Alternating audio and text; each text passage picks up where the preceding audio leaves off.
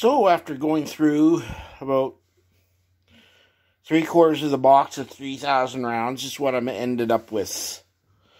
S&B, uh, a couple of various Chinese brands,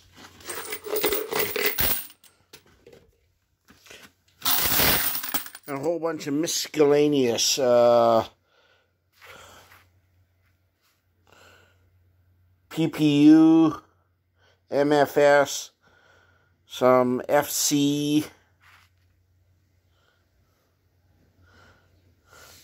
but yeah, the the bucket in there is all the mixed stuff.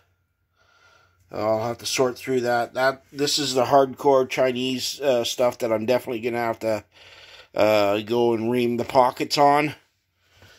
And then there's all this stuff which is Sellier and Bellot, or however it's pronounced. You can see somebody's got a really hard primer striker hit. Oh well. Not a problem.